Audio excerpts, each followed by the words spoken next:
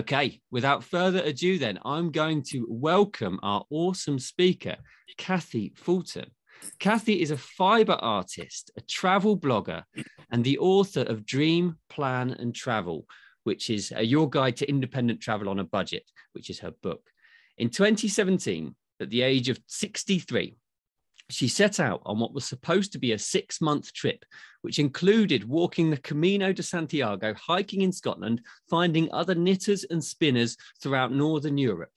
13 months later, she found herself in Estonia and not ready to return home. So she continued east to Kazakhstan, Sri Lanka, Indonesia, and then on to South America and completed an around the world trip in two years instead of six months. She's now a full time nomad without a permanent home. And you're joining us from New Orleans today, aren't you, Kathy? That's New Orleans. Yeah, yeah, yeah. So on her website, blog, and YouTube channel, Kathleen's Odyssey, Kathy loves to, Kathy loves to share her methods of how she travels, hoping to inspire others to take that first step outside of their comfort zone and embark on their own odyssey. I think today is going to be really inspiring. Um, she's recently written a series of articles entitled Look Over My Shoulder, where she shows you in a step by step fashion how she makes her way from the dream to actually embarking on that adventure. Kathy, thank you so much for joining us today. How are you doing?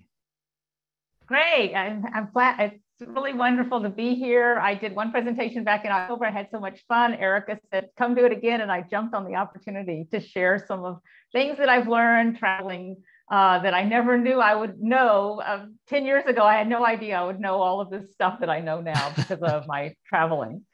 So um, I'm going to go ahead and share my screen with you if I can do it you correctly. To, yep.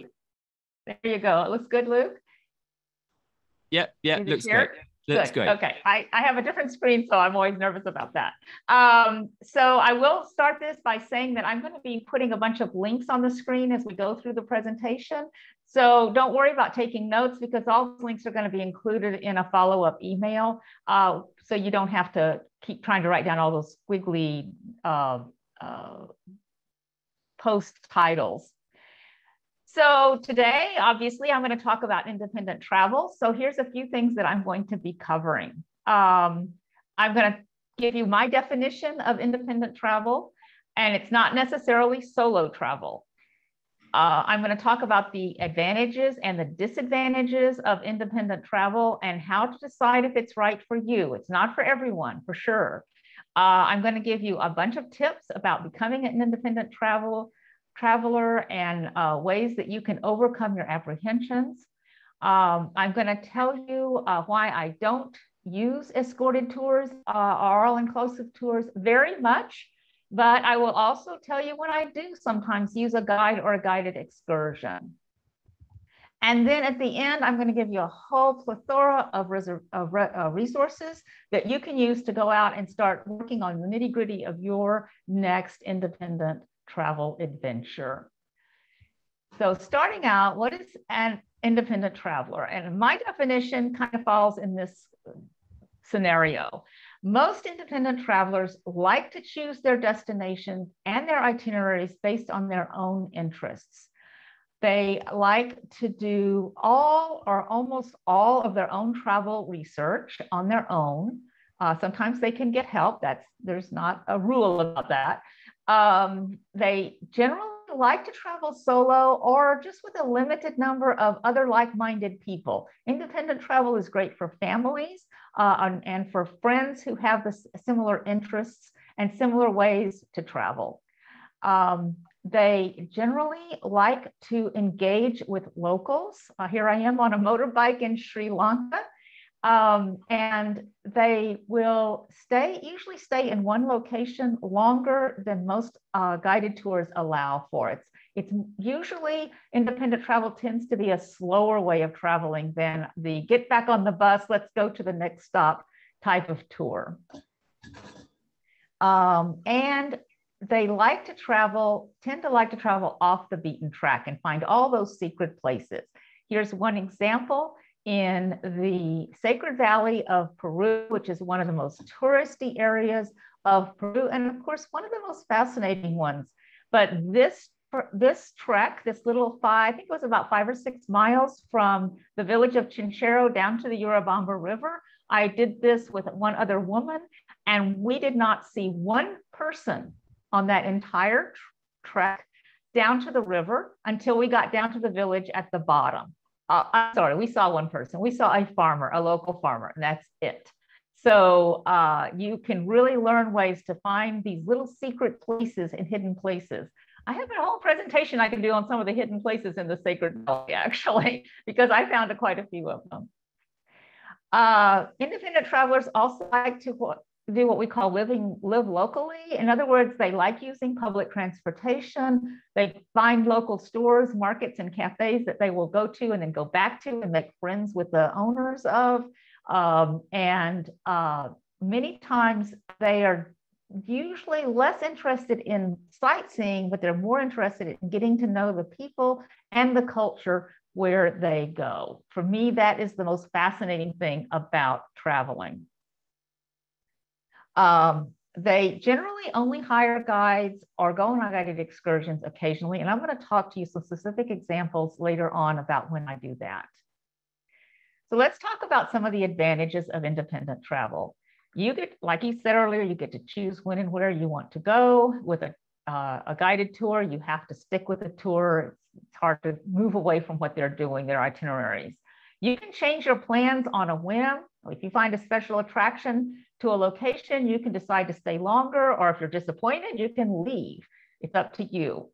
Uh, you have the opportunity to make lasting friendships with locals and other travelers. In some ways, this has become a bit of a con for me because I have friends now all over the world and it gets very expensive to go back and visit them again.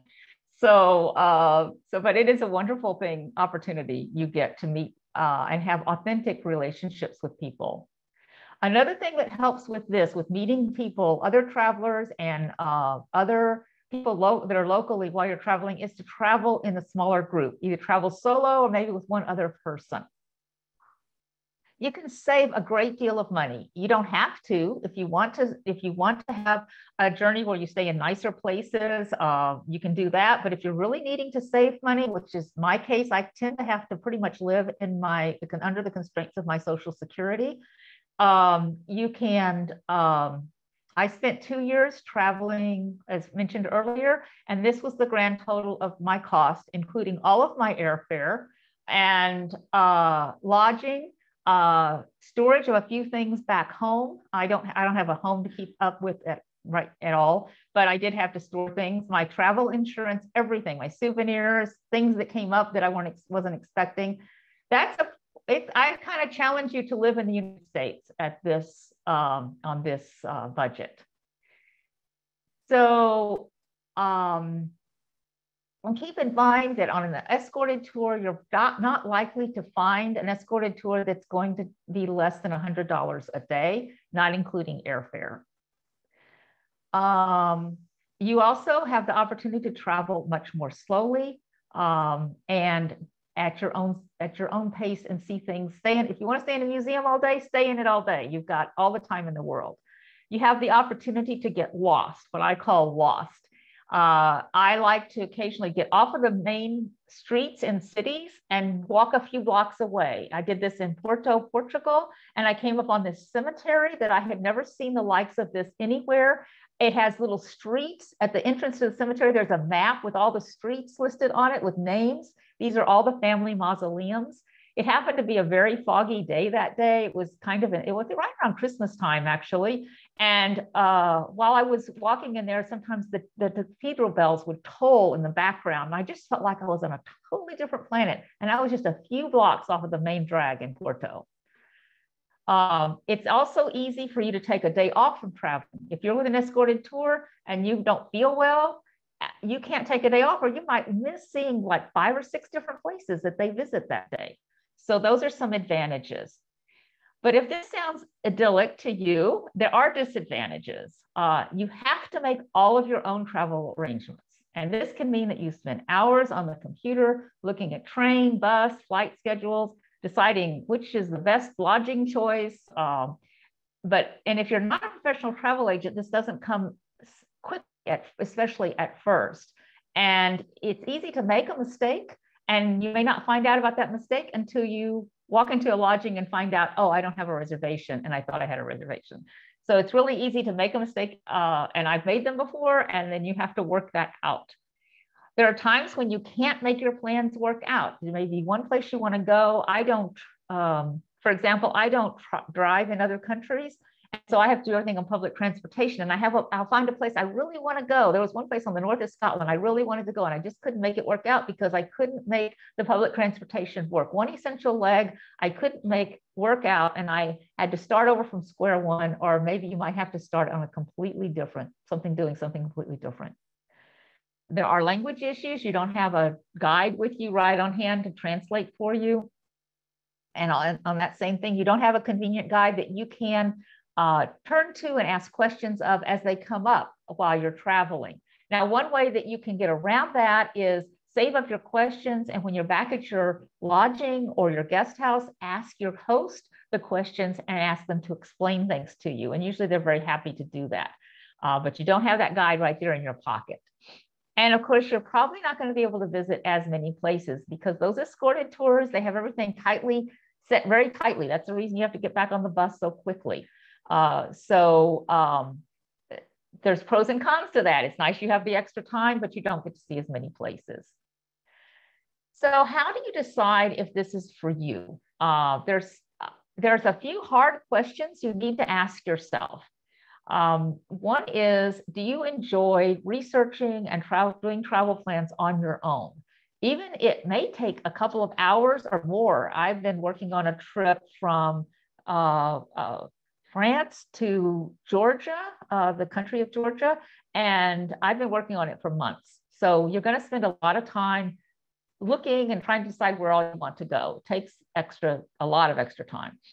Um, you've got to kind of have this attitude of planning a trip is almost as much fun as the trip itself. Um, you, uh, there's some, and then there's a few little skills you need. Are you good at reading and following instructions? Uh, are you comfortable reading and using a map? Now, granted, these days we have Google Maps. I love that little blue dot that always shows me where I am, but you need to be comfortable with uh, using maps because you're going to be do, finding your way on your own. And this is a tough question, and I'm not always sure what the answer for me is. But when things don't go as expected, what is your response? Are you flexible? Is it hard to calm down? Do you consider options right away? Um, one thing that I happened to me, and uh, I was leaving Gili Air in Indonesia, and I had uh, plenty of time to take the boat. It's an island. I had to take the boat to the mainland of Indonesia, and then I had five, four long flights to Ecuador. And right off the bat, the boat broke down. And I thought all of my travel plans, it was a 50 hour journey, were going to go awry. And I, at first, I go, I can panic or I can say, if this doesn't work out, I'm calling my insurance company. but it all worked out. But there are times when things don't go as planned, and you need to be able to uh, respond to them on your own. Um, so I will say that detailed travel planning is not for everyone. And if this is the kind of thing that makes you crazy, there's nothing wrong with getting some help. I'm going to give you some ideas for getting help at the end of the presentation. Uh, but it is helpful to have some basic travel planning skills in case you get stuck or something goes amiss. Uh, you can access, um, oh, another one is if you know how to think outside the box, and that kind of goes along with things not going right. So I have um, a blog post that basically is covering most of the things that are in this presentation called DIY travel.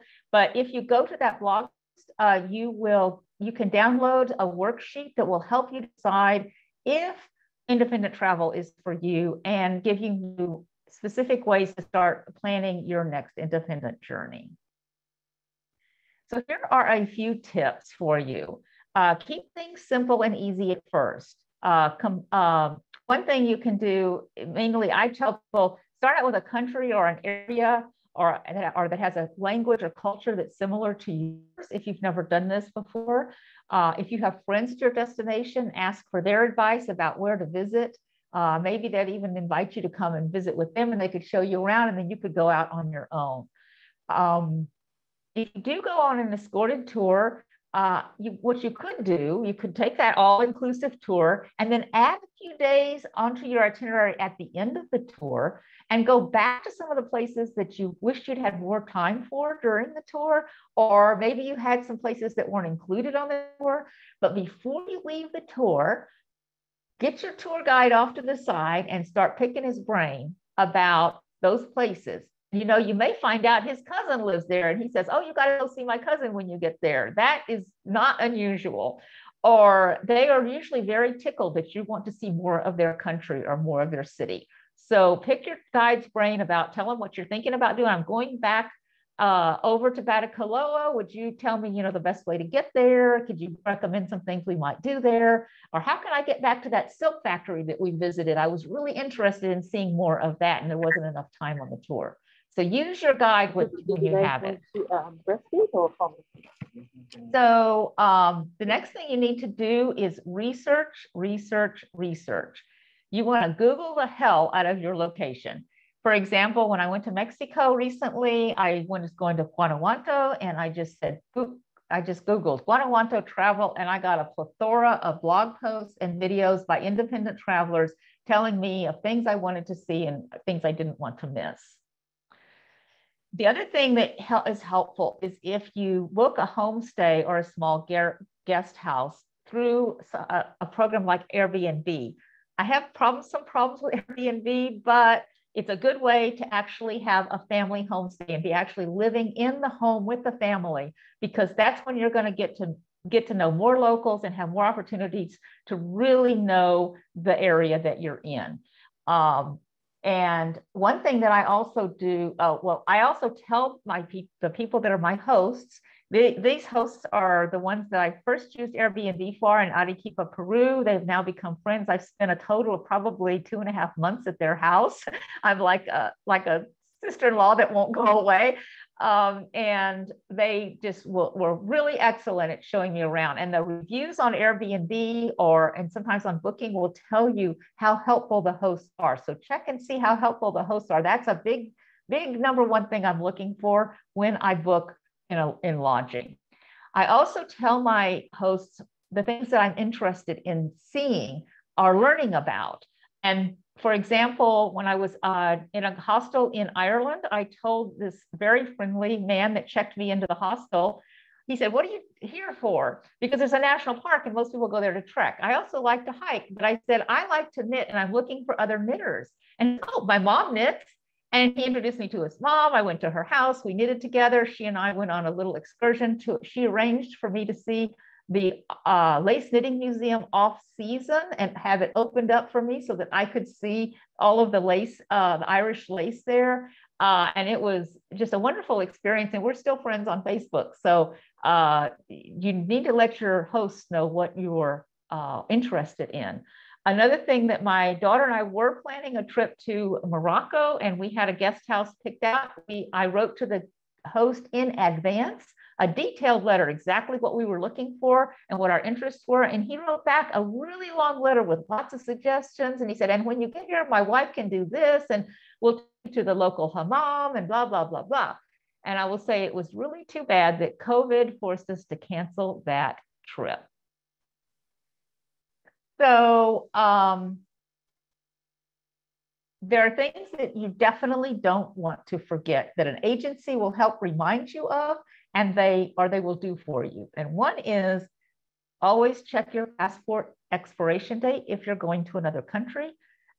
Very few countries will let you in if you do not have at least six months left on your passport from the time that you enter the country. In fact, you won't even be allowed on the plane.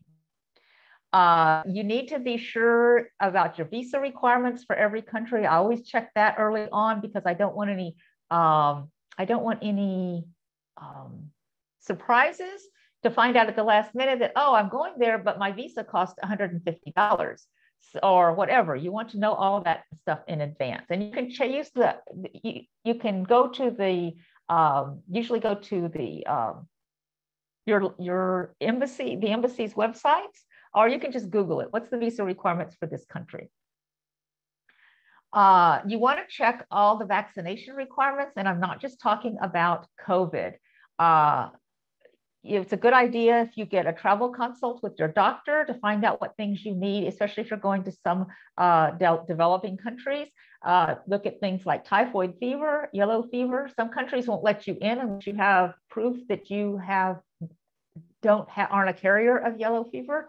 Uh, and yes, rabies are considerations in some countries. And by the way, you know, check to see if your tetanus shot is up to date. So those are some things you don't want to forget that an agency might remind you of. So I'm often asked, aren't you afraid to travel? Are you ever afraid? Uh, and I, here's a few things that I think can help you to overcome some of your apprehensions. One is I tell myself that uh, our fears are mostly illusions. Uh, what is scary for one person is perfectly normal for another. For example, how many of you get into your automobile regularly, fasten your seatbelt, and drive onto an expressway. That is probably one of the most dangerous things many of us do on a daily basis, but we don't have a lot of fear about it. So um, think about those kinds of things and really look at look at what is realistic. Uh, I do have fears, are kind of some reticence sometimes when I travel, but the alternative is not to travel. So you you kind of have to take steps to deal with that. And that's my next thing to talk about is take things step by step. Um, if you want some inspiration for this topic, I recommend that you go to my blog post, um, which is called A Ship in the Harbor is Safe. And it will tell you how on my first day in Peru, I was afraid to walk out of my guest house and how I overcame that. And in a couple of weeks after that, I was planning my own independent excursion to Lake Titicaca in the middle of the festival of Candelaria, which is Peru's carnival. So I, I say my motto for people is take the next step out of your comfort zone. Don't try to do everything at once, but take it one step at a time. And that's what the blog post, The Ship in the Harbor is Safe, is all about. Uh, you can read articles about your destination by other independent travelers. Uh, I ended up in Kyrgyzstan. Actually, this is the reason I ended up in Kyrgyzstan. I read a blog post on my travel insurances site, uh, which is World Nomads, um, about called Five Reasons You Should Go to Kyrgyzstan. I had never heard of Kyrgyzstan. I didn't know if it wasn't safe. I had no idea what the currency was. I had no idea about Kyrgyzstan at all. And this blog post sent me there. And um, I figured, well, it must be safe if my travel insurance company is writing a blog post about it. So, and I, I just figured they wouldn't send me any place that wasn't safe. Uh, and another thing you can do while you're traveling is ask locals about areas that might be unsafe. They can tell you the neighborhoods to stay out of, uh, especially in the evening. Again, you're going to research in advance, uh, making your travel plans for arrival is pretty important. Um, the most times when I'm the most apprehensive is when that plane lands and I go, okay, I got to get through immigration, I got to get deal with taxis, blah blah blah. But if before I go on the trip, I make a plan uh, like this one, and it tells me exactly. In this case, this was how to take a bus from the airport in Bishkek, Kyrgyzstan, all the way to the stop that was closest to my um, lodging. And I mapped this out and I stored it on my phone so that I could access it really easily when I got to the airport. And I knew exactly where to, because I did my research, I knew exactly where to meet the marshrutka, which is what they call a bus in Kyrgyzstan. And I another thing that I do is I will go to Google Maps Street View, yay, and look at the uh, what it's going to look like when I, I got, went to the best stop where this bus was going to let me out so I could see what the landmarks look like. So when I got to that bus stop and got off the bus, I immediately knew I had to turn right and start walking. And I knew which direction to go. I knew what to expect. And I knew that this was the place I was supposed to be when I saw all these landmarks. So this gave me a lot of, it gives you a lot of confidence as you're entering the place. And the other thing it did for me in Bishkek was that when I emerged from immigration into the uh, arrival hall, the taxi drivers all attacked me. Like they all wanted my business. And I was able to go, I'm going on the Marshrutka. And, and one even tried to tell me that it was dangerous to go on the Marshrutka. And I had my research told me that it wasn't dangerous. And I did. And I, I ended up spending like 50 cents to go like 20 miles into Bishkek. And my taxi would have been no telling how much. So you can really save money, but also have that wonderful experience of living like a local. And then you ask yourself, what is the worst that can happen? Um, and sometimes I, I say, tell people sometimes that if anything that I worry about isn't going to happen, so go ahead and worry about it because then that won't happen. But uh, it also helps if you don't kind of discount anything that's absolutely not going to happen. Yeah, I spent a lot of time in Arequipa. There's like three volcanoes there. Not likely they're going to blow up. They could, but they're not. So that's like you need to be realistic. But um, the the one thing that um, one thing that to happen for me is I'll get in a bus and when I get to my I, I, get lost. I get off the bus. I go, where the heck am I? I have no idea where I am. I don't know how to get back on the bus. What bus do I take? Nobody speaks English. The worst that can happen. And I go, well, I could take a, ta- I can find a taxi and get back to my lodging. So the worst that can happen is I get on the bu- wrong bus. I can get back where I need to be because I know I have a card that says my lo- where my lodging is, and I can just show it to the taxi driver.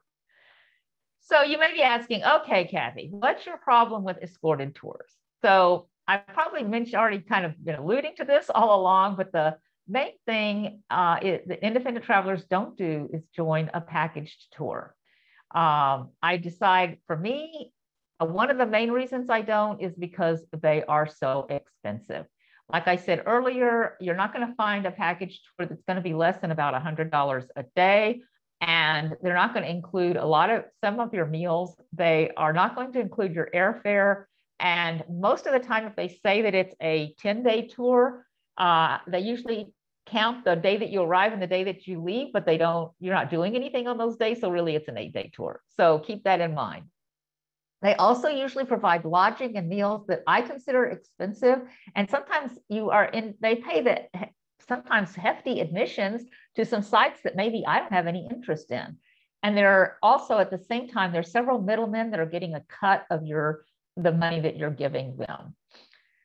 Uh, the other thing is uh, you don't get a chance to have much authentic interaction with local people if you're on a, an escorted tour.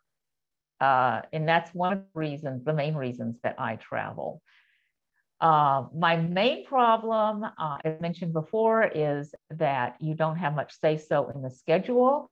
Uh, for example, I took a one day escorted tour to Northern Ireland because I was short on time and I wanted to see uh, the, the, the Devil's Causeway. But I remember seeing, we were left off the bus and we came to this beautiful hiking trail. And I could have explored the wild coast of Northern Ireland all day. But alas, the tour guide says, be back on the bus in an hour. And I didn't have time to do this wonderful trip. But then there are times, as, as this example shows you, when I do use escorted tours. Uh, I use them if they're well, they have to be well recommended, usually by locals, or I've read blog posts or reviews about them. Uh, I do go on a lot of city, free city walking tours. These are great opportunities to visit uh, a new location and get an idea kind of the land and a chance to pick the guide's brain. And one thing that I've done before is um, at the end of the free walking tour, you generally are expected to give some gratuity to the guide based on how good the guide was and what you can afford to pay. I usually pay somewhere between eight and fifteen dollars, depending on the tour. Um, and uh, but one thing that I did once was I, at the end of the tour, asking him so many questions, and all the other people had left, and I said, can I can I buy you a beer and would you like give me some more information? We ended up going to a local pub and I got a lot more information from that guide. And in fact, a better place, a better hostel to stay in than what I was in. So uh, that's an opportunity for you. Generally, uh, they have to be short. These tours, most three or four days, uh, and they have to be a small group. I don't want some gigantic bus. And here's some examples of when I have used uh, escorted tours. If it is, there is a specific theme, subject or place that I want to go. For example, this was a trip I took to uh, organic uh, coffee and cacao farms in Peru.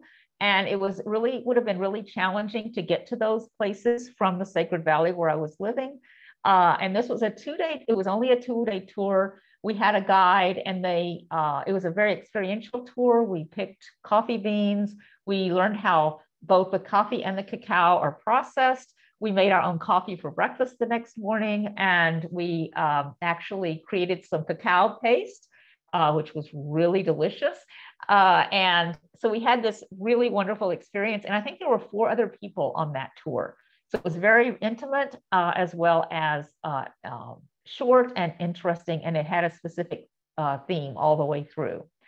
I also have used a, a guide when the going is tough. This is a this is a trail that's along the two-day trip trek to Cho- uh, it's a four day trek actually, two days in, two days out to the ruins of Choquequirao, which is a sister site to Machu Picchu, but many people don't even know about it. When we got to Choquequirao, there were five of us, including the guide, at the site, period.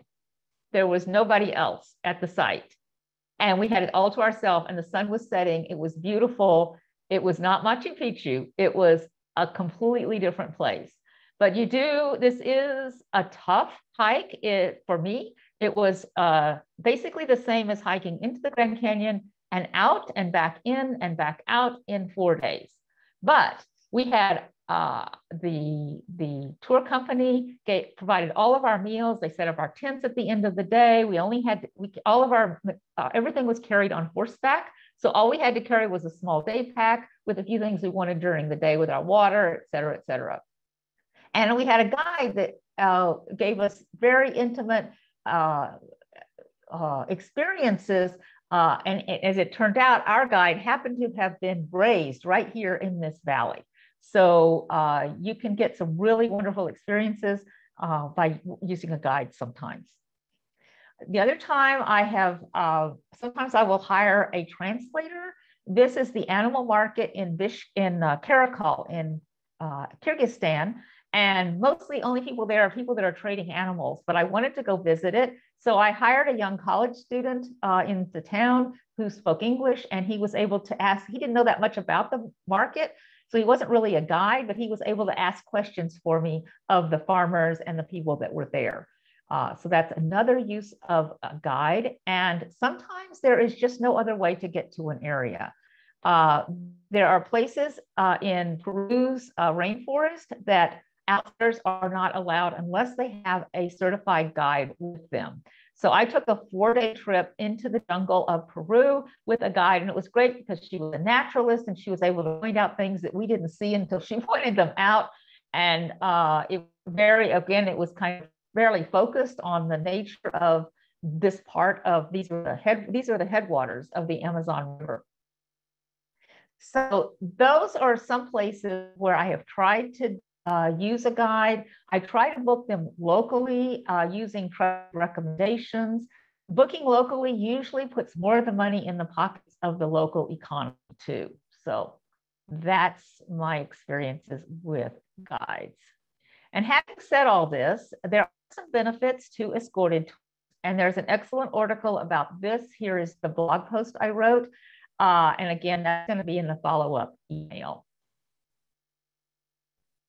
So here, uh, I know I'm running through things very quickly, but I'm going to do a few resources so that afterwards you can go and find more information about this and learn how to do this yourself. Um, I mentioned, let's see.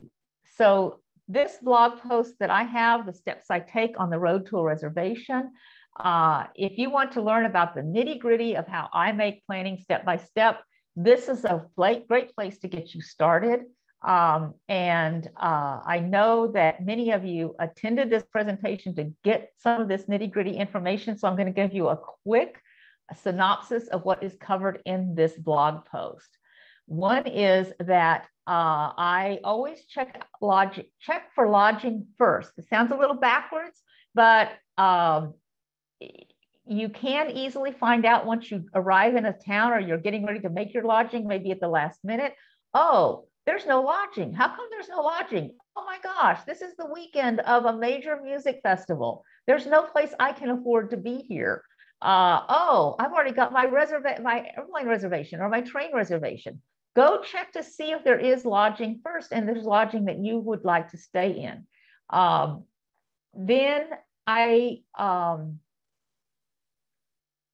I use uh, booking.com for a lot of my reservations. And the nice thing about that is that you can make the reservations and then you can usually cancel them almost up until the day of travel. I did this recently because we thought we were going to France in February. Uh, COVID had different ideas, and I had a really cheap, really nice place to stay right in the heart of Paris for a couple of nights so we could get over our jet lag.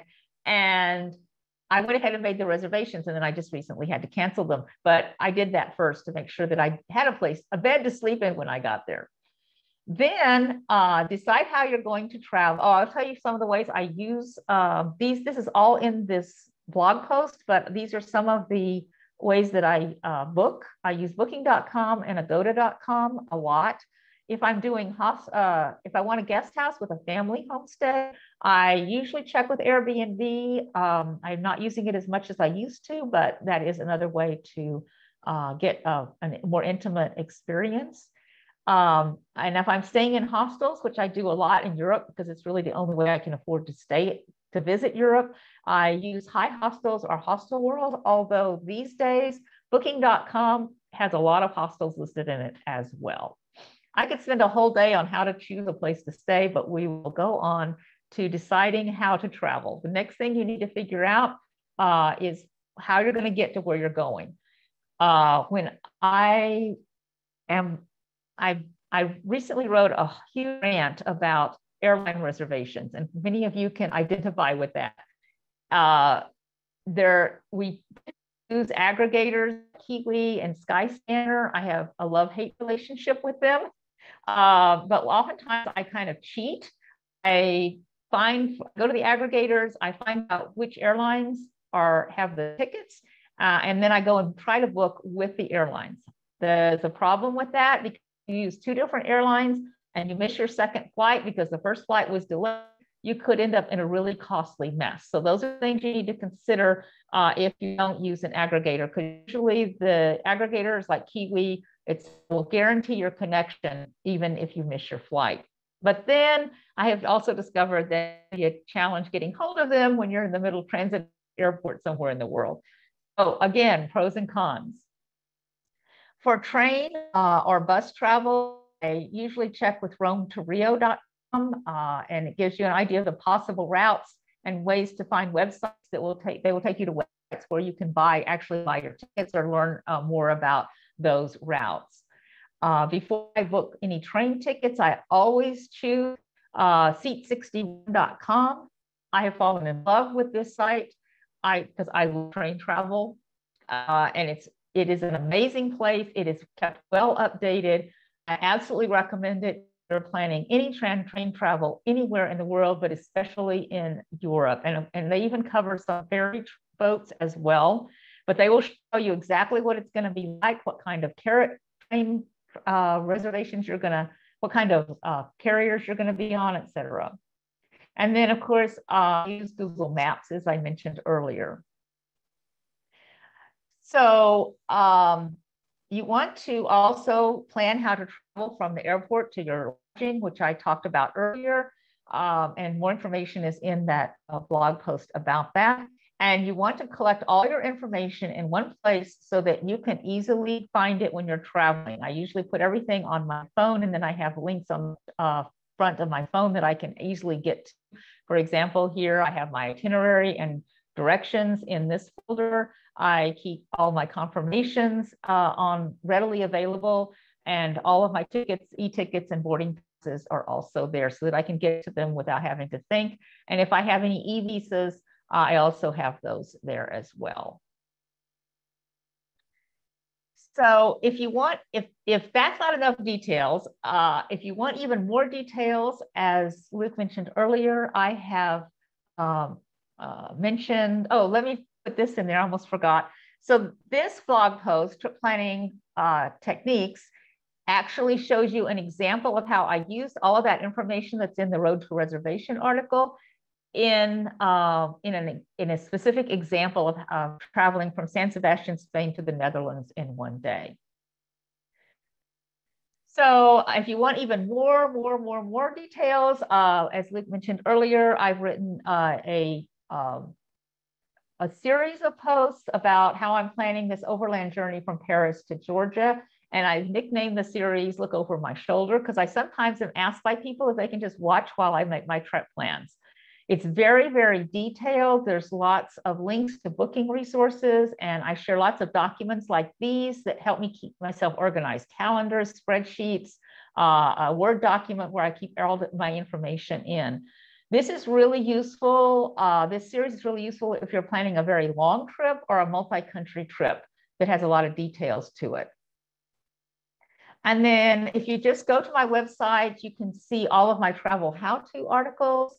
Uh, there's one that I really like a lot if you're considering uh, staying in hostels, but you've never stayed in a hostel before. I wrote a, a blog post called Hostels, They're Not Just for 20 something. So um, you will find a lot more information about solo travel, uh, experiential travel, thematic travel uh, in my travel how to list.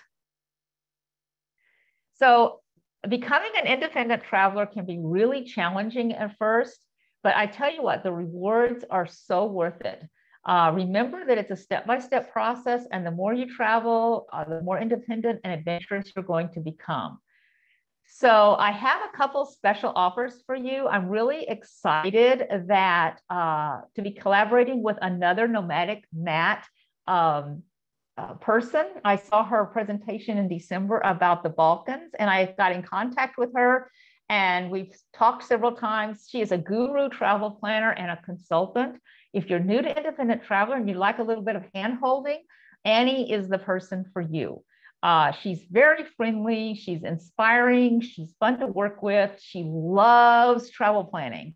Um, and she's offering uh, viewers of this presentation a 60 minute free consultation. And uh, this uh, link will be in the follow up email but you can go to this link and uh, she will um, she will be glad to help you out. You'll be glad you met Annie. Uh, I will have to say, I think I have to disclose that if you hire Annie as a result of watching this presentation, that I may receive a commission. I think I have to say that. so as mentioned in the introduction, another offer I have for you is uh, to my book, Dream Plan Travel, in which I, again, I have lots of details about uh, traveling slowly, independently, how I travel long term on a budget, very tight budget. Um, and so these are some of the chapters in the book. There's lots of stories and examples uh, in the book, as well as ideas for making your travel more special for you.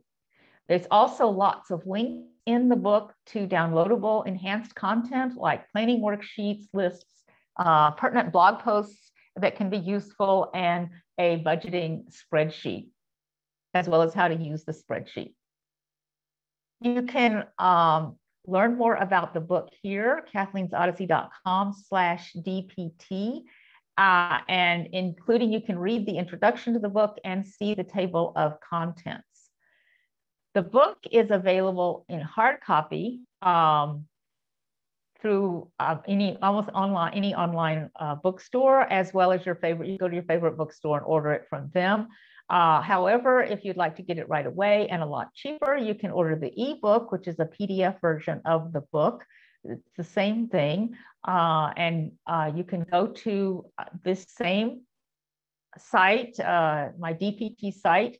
Use the coupon code tnn-independent and uh, it will give you the book for half, the downloadable ebook for half price, and you can get it immediately. Half price is eight dollars, um, and you're free to share this uh, code with your friends. Uh, but I will tell you, it's only valid until February the first. So as I talked about earlier, uh, my mom used to say that planning a trip is almost as much fun as the trip itself. And over the years, I have really discovered that this is really true. Uh, even when I don't end up going on a trip sometimes, I never felt like I wasted time in dreaming and planning. so I hope this presentation has given you a few ideas to make your trip planning fun and productive.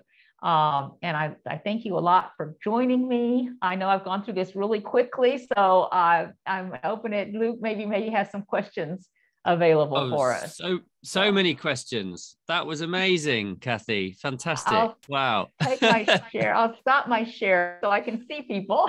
yeah. Um, and we we peaked at 140 people on the call today, which I think is the busiest I've ever seen one of these. Um, and we had people from all over the states, Canada, all across Europe.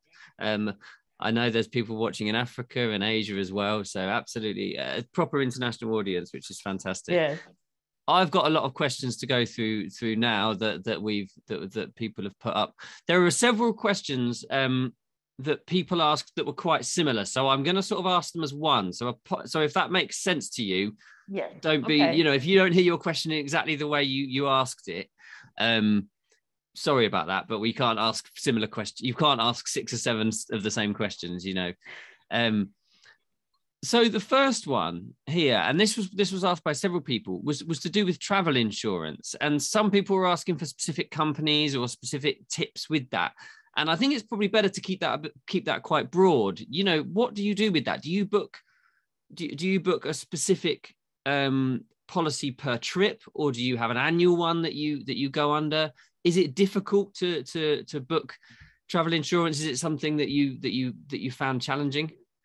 I haven't found it challenging, but I do use World Nomads almost exclusively, and most people that do a lot of uh, big traveling use uh, World Nomads because um, I just feel I'm really well covered. They really and they really are working with people that do long. I travel long term, and mm. uh, many insurance companies won't cover you uh, for more than like 30 days, 60 days at the most. World Nomads will tra- uh, cover you for six months at a time, and then you have to renew. And they let me renew while I'm on the road. I've renewed several times. two-year journey. Um, uh, it does the more the more places you go, especially if you the more places you go, the more expensive it is. But they'll give you can get a free quote uh, online from them and see how much it is. The problem is is that um, uh, as we age, I know that this was this was titled of seniors traveling independently. So I'm assuming that a lot of people here are getting past 65 and 70, and depending on what country you're in, it can be more of a challenge. But what I'm finding is insurance companies that a few years ago were not offering insurance for people over 70, you just couldn't find it. Um, they're opening up because us baby boomers we're growing up and we have money and we you know they found a market and i'm seeing more and more insurance companies are offering for older people traveling. So no that but world that nomads makes... is my go-to because i feel confident that they're going to cover everything i need. Yeah absolutely. And i think it's different for every person isn't it? it it's dependent on your age and your circumstances and the country in which you live and all of these sorts of things. I think you need to do uh, the but research don't travel without it yeah, don't absolutely. travel that, without it. That's important. And a bit more of a specific question from someone here about traveling with osteoporosis, particularly in relation to doing the Camino. Um, how rigorous is that on on you physically? You know, is that something you can do with with with certain conditions that perhaps would make you, you know, certain conditions that would make movement more difficult? I have seen people on the Camino, it will move your heart doing it in all kinds of ways. I see my friend Annie from Bristol is there here. She is my Camino guru. Uh, she has done like, I think nine Caminos or something like that. But, uh, and I, she can confirm this, that there are so many ways to do the Camino. I've seen people blind. I've seen, uh, the oldest woman I saw was in her 80s. Um, wow. Yeah the nice, the one thing, there's so many ways to do the Camino, and I have a whole series of blog posts on the Camino that you can uh, read on my website as well, my day by day journey. But um, there, there are ways that you can travel and just carry uh, like a day pack and then have your luggage sent around to each to each mm. of your uh, destinations each day, so you don't have to carry as much. Uh, there is a wonderful site. Uh, it's called uh, my, oh, I can't remember it right offhand. Don't it's, yeah. Anyway, it's a forum. I could I could add it to the to the email later, but there's a forum uh, that you can go to to get all kinds of information like that, detailed information. Like you could say, I am traveling with osteoporosis, I'm planning to do the Camino, and I can guarantee you, you can have other people that have had the same issue to answer your questions for you. Yeah, no, that makes sense a lot. And I think, I, yeah, it's, I've heard of people doing it all sorts of ages and conditions with some some people taking trolleys and things like this so they don't have to carry their bags and all sorts of all sorts of different contraptions and, and, and that sort of thing.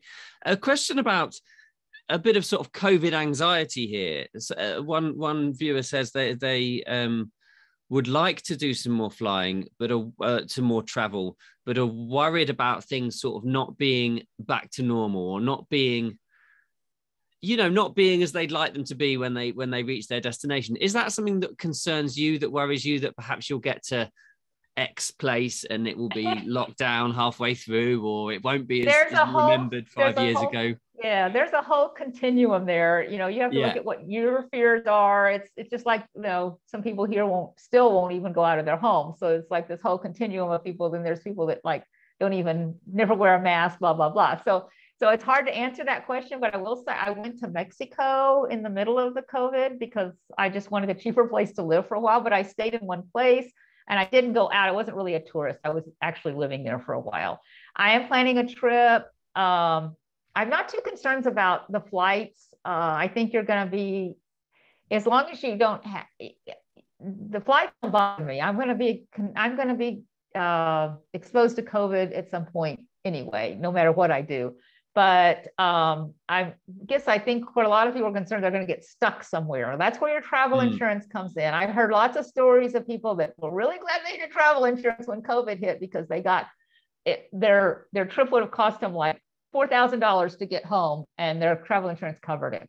So that is a good reason to have travel insurance. If your concern is along long lines of getting stuck somewhere, or if you come down with COVID and you need to be brought home to be taken care of, um, that kind of thing. Another thing that travel insurance companies offer is a concierge service. So no matter what your problem is, you can call them and say, I need to find a dentist right now. My tooth just fell out or something. You know, you can get help from them. So um, I think uh, we are, my daughter and I right now have another tentative date to go to the Balkans in March but oh, we're instead of going to a whole bunch of countries, we're narrowing it down to maybe two countries, so we don't have to deal with the restrictions when you get to the border. This this country needs this, this country needs that, and it'll about drive you mm. nuts.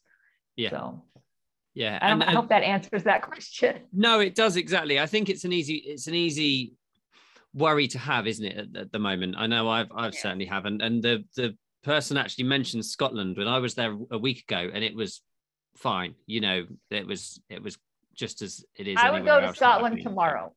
I would go to Scotland tomorrow. Yeah, I, I would as well. It was beautiful. Um, okay, okay. Do you have? This is a question that came up a couple of times. Do you have then a place that you call home? I know you said you're in New Orleans at the moment. Have you have you got things that you that you keep in a certain place, or are you truly backpack living? You know. No, I have a few. I still have a few things, mostly like keepsakes. Uh, my brother-in-law is wondering if I'm going to get them out of his garage. my sister says, no, you can keep them there.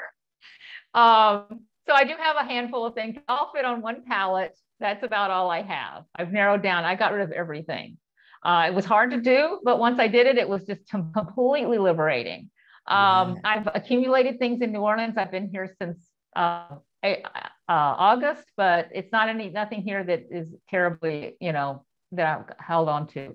I do one thing that is valuable for long-term travels or long-term nomads is to have a mailing address because people need you're always needing a mailing address. And I use my sister's, and she's she's a great, she's really well organized. She's like she's already an administrative assistant by trade. So she's really good at if I get anything, contacting me. Do you need this? Is this important? Whatever. Uh, and then I have a, uh, a place that I can say. In fact, when I sign up for insurance, I have to have a location on my insurance where I'm from, and I use her address.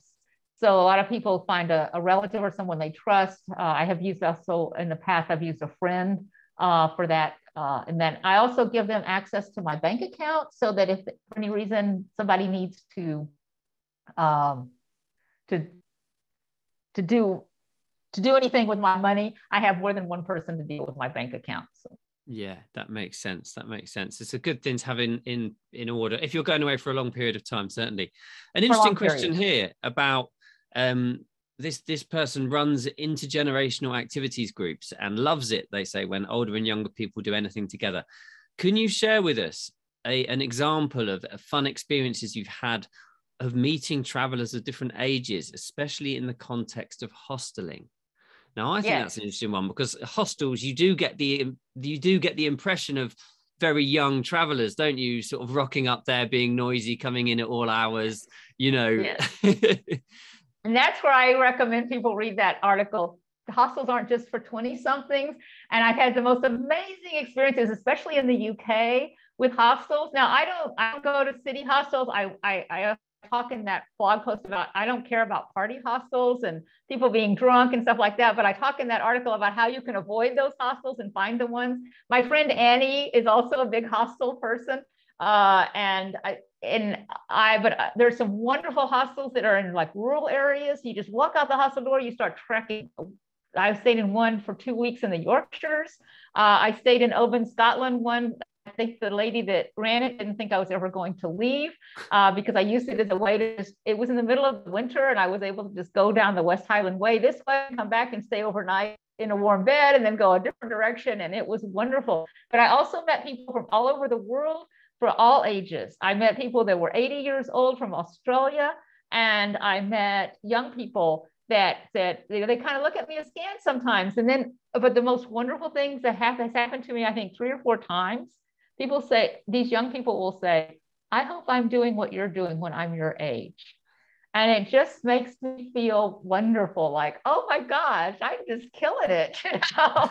you are so, 100%. Yeah, it's just, it's really uh, wonderful. And the other, the problem with it is, is you're going to meet someone that's going to say, you've got to come to my country. And so that's mm-hmm. how I ended up in Sri Lanka, for gosh sakes. Or uh, we're getting ready to go to um, Serbia, and I was really excited because some friends, uh, I met some people in a hostel in Estonia who were from Serbia, and they shared with some of their rakia with me, and they said, "If you come to Serbia, you can drink this all the time."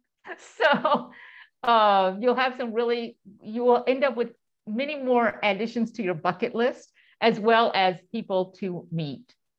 And yeah, and yeah, I think you're absolutely right. I think you're absolutely yeah. right. So, with that in mind, then you talked there about sort of travels changing as you go.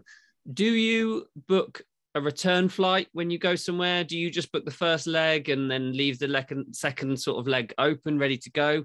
And if so, does that give you issues with visas and these sorts of things? What's your strategy? Well, I'm a slow traveler and I will go someplace and I will say, like when I went to Kyrgyzstan, I said, I'm going to stay there about five weeks, más o menos. I don't know.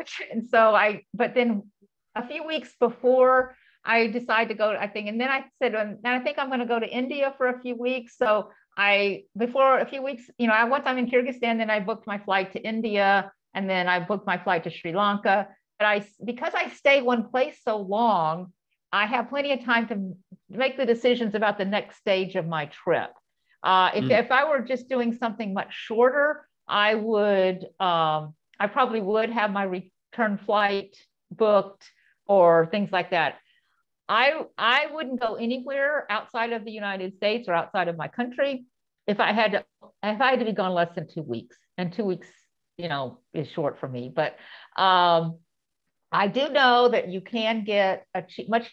You sometimes you can get things much cheaper if you do a round trip ticket. Uh, but so you have to judge that. But then you're stuck with that round trip ticket unless it's you know flexible. Mm. So. Mm. No, that's absolutely right. I'm just going to actually put your your socials link in the chat because I can see I think a couple of people need to head off for other appointments and I want them to um I want everyone to connect with you because there's other questions that are coming up here so I, I think that's important before we head on to the next one. There we go. They're there. So before you before you head off and do anything, there's a couple more questions to go. We're not finished just yet, but if you do need to head off before you do, make sure you head over to Cathy's website there, her Facebook group, um, her book link, and the YouTube link are there as well. And all of the links we shared in the presentation will come to you via email when we're done. So you'll get the the book discount code and all of those things. And and I assume, Cathy, that in those in, in those articles are all the links, you know, Airbnb and Hostel World and all those yes. sorts of things that you yes, that you recommend. There's all links. Perfect. And so we don't need to, to see the slides basically because it's all in those articles. Yes, it's all in those articles. And feel free to email me and ask me questions. I like to answer questions. I can't do like detailed travel planning. That's why I gave Annie's uh, name name to you because she's doing it for a business. I can't do that. I just don't want to do that. I'm retired. so, but I will help you with little with little questions that you have along the line for sure. Just just out of interest, what did you do before being retired?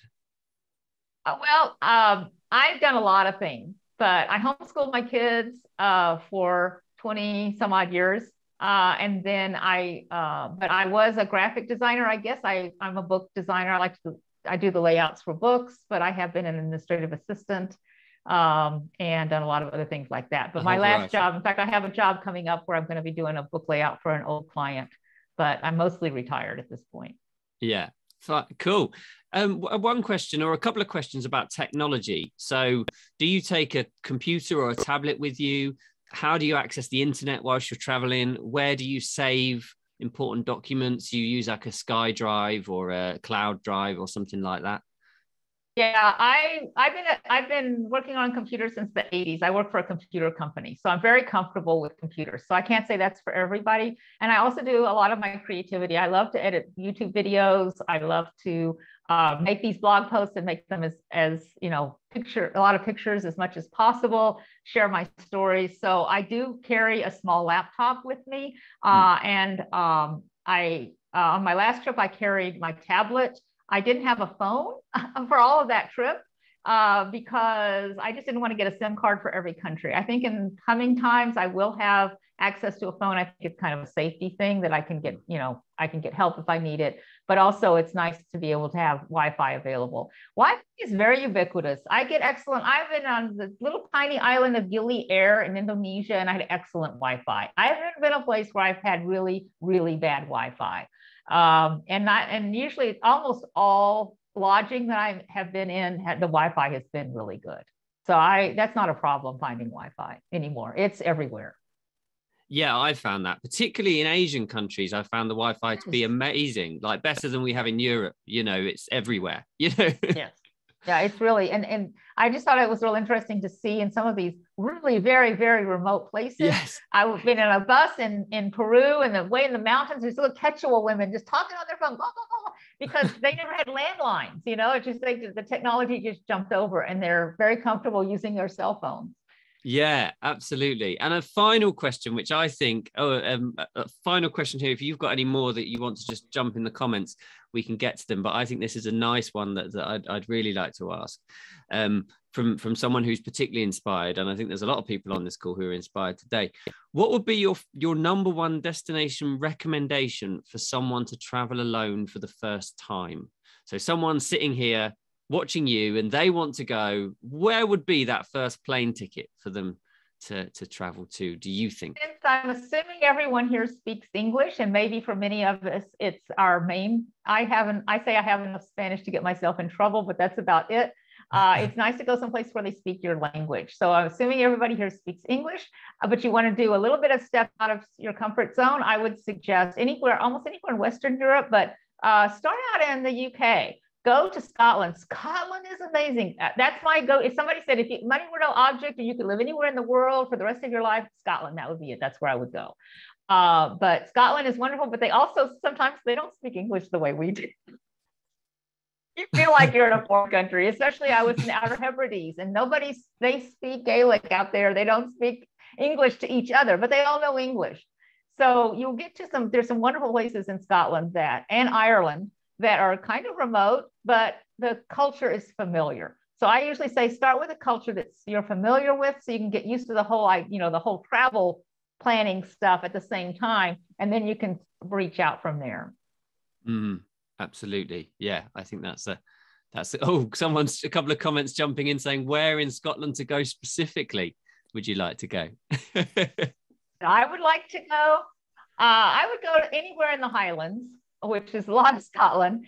Uh, I would love to go back to the Outer Hebrides. I only had 10 days in the Outer Hebrides, and I would like to walk the length of the Outer Hebrides. Wow, yeah. Because I do love to hike in remote areas. I spent quite a bit of time also in the Shetland Islands because I was looking for knitters and spinners and sheep. There's a lot of sheep in Scotland. Yes. A lot of sheep. so by by definition, there should be a lot of knitters as well. Cathy, this was absolutely fantastic. I know there's a I, I've seen a couple more questions come in, but a lot of them are very specific now, like asking. So, so I think if you've asked a question that's quite specific, you're probably better contacting Cathy directly and having a conversation with her yeah. about it. And she she I'm has happy. said she's more than happy for you to do that rather than me share your question with a hundred people and, and and her give an answer that's that's sort of just for you. Thank you all. I'm to answer questions. If I don't know the answer, I'll probably refer you over to Annie, but I'm, I'm happy. I'm, I want to inspire people to travel. I believe that if more of us travel, if everybody had to travel outside their comfort zone for six months, we would be on an avenue to world peace. And that is yeah. really a belief that I have. And I think that if we can get more people to travel, especially young people, uh, we would be a much better planet. Oh, absolutely.